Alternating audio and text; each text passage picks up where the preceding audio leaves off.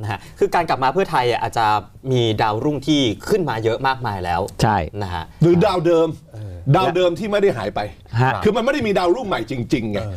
ดาวเดิมที่ยังอยู่ครับซึ่งอยู่มาเอาจริงๆหลายคนตั้งแต่สมัยพักพลังธรรมคือคุณอย่าลืมนะมันมีพลังธรรมนะฮะมันมีไทยรักไทยครับแล้วมันค่อยมีพลังประชาชนคนที่โตในยุคพลังประชาชนไม่ใช่รุ่นใหญ่ที่แท้จริงของฝั่งนี้นะครับครับ ไม่มีร้อยเก้าเอ้ยไม่มีร้อยเออร้อยร้อยสิบเอ็ดอ่าครับนะฮะ คือมันมีมันมีรุ่นใหญ่ก่อนที่จะมีรุ่นใหญ่ในพลังประชาชนครับ นะฮะไม่ว่าคุณมิ่งขวัญจะตัดสินใจทางการเมืองด้วยการอยู่กับพรรคไหนก็ตามนะฮะเราเชื่อคุณมิ่งขวัญคิดว่าจุดที่เหมาะสมกับคุณมิ่งขวัญในห่วงเวลานี้ อ่าคือผู้ซึ่งซึ่งเป็นคำถามที่ดีมากที่ผู้สื่อข่าว Voice TV ได้ถาม คือผมผมผมผมไม่ได้ชงอันนี้ไปแต่ว่าผู้สื่อข่าว Voice ซึ่งไปทำข่าวนี้เนี่ยเขาถามเองเลยว่าเฮ้ยถ้าเป็นอย่างนี้เนี่ย มาเพื่อไทยไหมเออถามเลยใช่ไหมมาเพื่อไทยไหมถามตรงๆแบบนี้ถามเลยตเหรอ รงๆ ไม่เขาบอกว่าเฮ้ยในเชิงในในวิธีที่อธิบายมาคือถ้าไม่ไปพลังประชารัฐเนี่ย ความที่เคยทำงานร่วมกันกับฝั่ง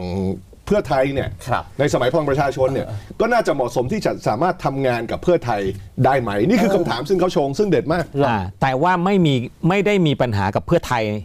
ไม่ได้มีปัญหากับพลังประชาชนตอนออกนะครับ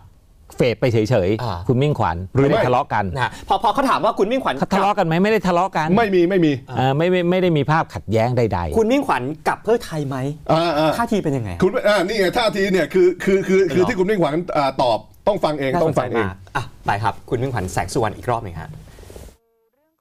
เอางี้ดีกว่า ตอนนี้ยังไม่ถึงเวลาเลย ผมยังไม่ได้พูดอะไรสักอย่างเลย แต่ว่าในพรรคเพื่อไทยก็มีคนที่ท่านคุ้นเคยหลายต่อหลายคนนะครับจะทำงาน ร่วมกันง่ายกว่าพรรคอื่นๆนะครับ ที่ไหนเอ่ยวอยทีวีครับ Voice TV ไอ้ Voice TV นี่ปกตินี่เชียร์ใครฮะไม่ต้องบอกนะครับเฮ้ยไม่ได้สิ โอ้โหพวกคุณถามผมมาเป็นสิบสิบคำถามผมตอบเกือบหมดไหน Voice เชียร์ใครฮะอะอันนี้ขอผมขอบคุณหน่อย สื่ออื่นอย่าอิจฉานะ Voice TV อะทำสกู๊ปผมเป็นเรื่องเป็นราวฮะ วันก่อนผมยังนั่งฟังเลยฮะวิเคราะห์ผมโอ้โห เป็นฉากฉากๆผมก็นั่งดูผมขอบคุณนะฮะ ที่ได้ทบทวน อ๋อเหรอนี่ประวัติของผมเป็นอย่างนี้เหรอขอบคุณมากนะครับ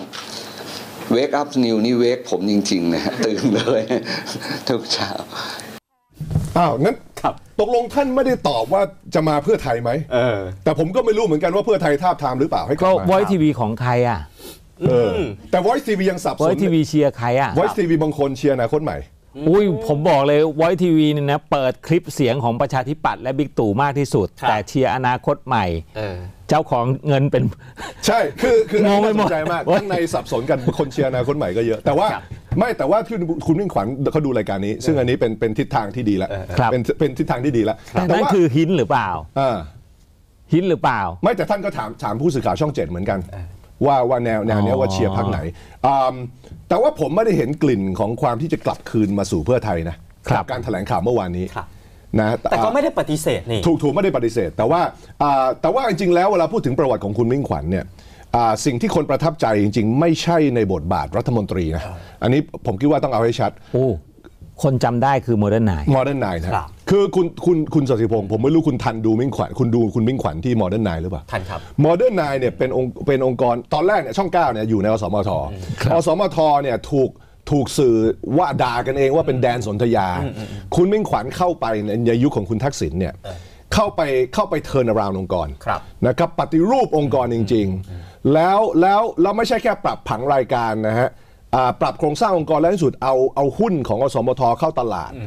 เป็นยุคที่รายการเนี่ยผมได้เคยเข้าไปจัดรายการที่นั่น ครับในช่วงบ่ายนะรายการหุ้นนะอ๋อเหรอมีผมจัดเออเออนะฮะคุณจอมขวัญตอนนั้นยังไม่ดัง ครับจัดรายการหุ้นชื่อเขียวยกแผงครับ ตอนบ่าย ฮะฮะฮะ กลางคืนเนี่ยคุณสรยุทธ์จัด ยุทธมาจัด สองทุ่มครึ่งฮะคุยคุยข่าวสี่ทุ่มครึ่งคุณสรยุทธ์จัดเป็นเรยุคที่รุ่งเรืองที่โอ้สุด โหรุ่งเรืองมันมากเป็นยุคทองของอยุคสทมองทยุคทอง แล้วแล้วเป็นเป็นยุคที่เอาจริงๆผลงานคุณมิ่งขวัญเนี่ยยิ่งกว่ารัฐมนตรีซะอีก เออ ในฐานะพออสมทครับ นั่นคือสิ่งที่คนนั้นจดจำเพราะฉะนั้น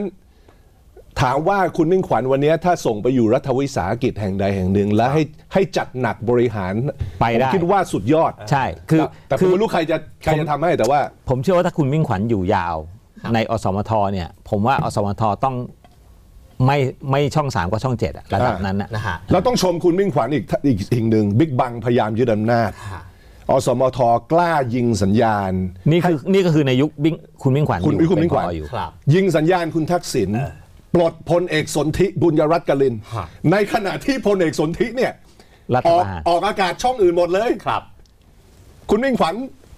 ทำตรงนั้นเนี่ยถือว่าเป็นสิ่งที่ฝ่ายประชาธิปไตย ยังจดจำมาจนถึงทุกวันนี้ ครับ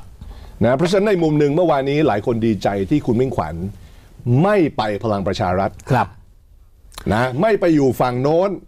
หลายคนในฝั่งประชาธิปไตยยังปรบมือให้ครับอ่าซึ่งผมก็ยังเชียร์นะ โอเค เพื่อไทยเนี่ยอาจจะเอ่อมีคิวเยอะ ไปเป็นแคนดิเดตเพื่อทำยังได้ คู่กับคุณสมชายวงศ์สวัสดิ์ครับ ทำไมจะไม่ได้ ใช่ไหมหนึ่งในสามชื่อแคนดิเดตชิงนายกก็ได้ อืม มี 9 คนนะให้เลือก สมมุติว่าเขาตั้งเป็นเพื่อทำเพื่อชาติเพื่อไทย อ่ามี มี 12 คนอะถ้ามีไทยรวมพลังด้วย อืมอืมอืมเพราะฉะนั้นได้ อย่างน้อยก็เอ่อเป็นการรีเทิร์นกลับมาแวดวงการเมืองได้อย่างมีสง่าราศีอืมครับแต่สื่อก็ไม่ลืมคุณมิ่งขวัญเมื่อวานนี้ หายไปตั้งนานแต่ว่าสื่อไม่ลืมครับนะฮะอะก็เดี๋ยวเดี๋ยวเช็คหน่อยว่าคุณมิ่งขวัญเข้ามาชมเราหรือเปล่า ครับเอา